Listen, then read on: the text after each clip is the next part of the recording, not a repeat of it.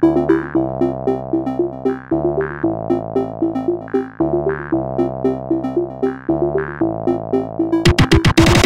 welcome to Mild Mannered Vlog. I'm Chris. In the process of me trying to come up with this vlog, I was trying to figure out what should I talk about. I was thinking, should we talk about comics? Well, that, may be too big a subject to talk about. Should I talk about TV shows? Well, a little bit too big. Might come back to that later on. Should we talk about the internet? Oh man, that's way too big of a topic. There's a lot to cover there. What about geek culture? I mean, I'm a geek, but that's still a little bit of a wide range of a topic. So I was looking online trying to find out how to choose a topic, and a lot of the posts I saw said choose a topic that you're passionate about. Well, I mean, I'm passionate about comics, I'm passionate about TV and geekdom and internet and and a lot of that kind of stuff, but I'm mostly passionate about movies. Oh, sure, I'll cover all the other stuff later, but for the, my first one, I figured I'd go with something easy movies. And I just got done seeing a movie called the Way Way Back. The Way Way Back stars a wide range of actors, everybody from Steve Carell to Toni Collette to Allison Janney. It even stars two young kids, Liam James. Now, when I watched this movie, I was like, I know that kid from somewhere. Where have I seen him from? Oh, that's right. He was young Sean in Psych. You've never seen Psych? Have you been living under a rock? Okay, I can forgive you for not having seen Psych, but we'll probably cover that in another video. So the other young actress is AnnaSophia Robb.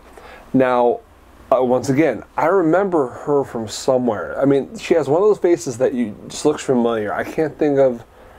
No. No. No.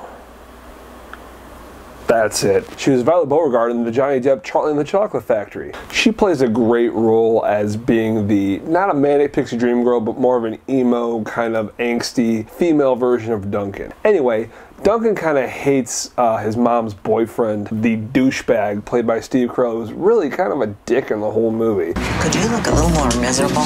Could he be even more of a douche? It's a, it's a real sidestep for him, kind of playing the antagonist. He hates him so much that he just can't stand it and just rides his bike into town and happens upon a water park who the wonderful Owen, played by Sam Rockwell, owns this water park and he just happens to sneak in and just kind of hang out there. And in the process of Duncan being there Owen kind of befriends him kind of raises his spirits and basically becomes his friend eventually offering him a job. What's more important about this movie is that it was written and directed by Jim Rash and Nate Faxon the same duo that won an Oscar for The Descendants you know, the George Clooney pick takes place in Hawaii. Pretty good flick, but that's a different movie.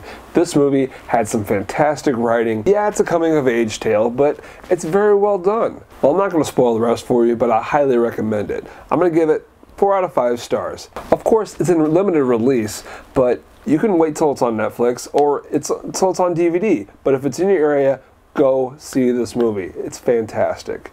All right, so that's my review of The Way Way Back. Before I leave, I want to give you what I like to call the one, two, free. It's basically a couple things I like and one free thing. You can try out these other things. They might cost you a little money, but the one thing is definitely free. The first thing I want you to check out is a TV show called Whodunnit. It's on ABC on Sunday nights. The actual finale is coming up, but you can definitely go on Hulu and Hulu Plus and check out the complete first season. It's basically a reality TV version of Clue. Starts off with 13 people, but one of them is a murderer, and if you don't score the best at trying to figure out who the murderer is, you're so number two is the comic book series called Saga by Brian K. Vaughan. Now I'm not going to get too involved into this because I'll probably cover this series and Brian K. Vaughan a little later in other videos. It's only 13 issues in and the first 12 issues have already been split up into two graphic novels. So you could easily pick those up at your local comic shop or even maybe library and check those out and catch up easily. And now the free. It's called The Thrilling Adventure Hour. It's a podcast created by Ben Acker and Ben Blacker. They write comics, but they also do this. And it's a podcast that they took old timey radio plays and put them into podcast form and put them online for you to listen to. Now, there's upwards of 150 of these, but they do various ones. There are two main ones that they do. One called Sparks Nevada, Marshal on Mars, which is a sci-fi western, and it is hilarious. And the other is called Beyond Belief. It's uh, two psychic mediums that deal with werewolves, vampires, you know, the horror kind of stuff. They're drunkards. They're constantly drinking, and it's hilarious. Well, that's it for the Mild Manner vlog. In the comments below, make sure to put your favorite coming of age movie. Can't wait to see what you guys have to say. Don't forget to like this video and subscribe. There's to be plenty more to come. And until next Thursday, I'll see you guys later.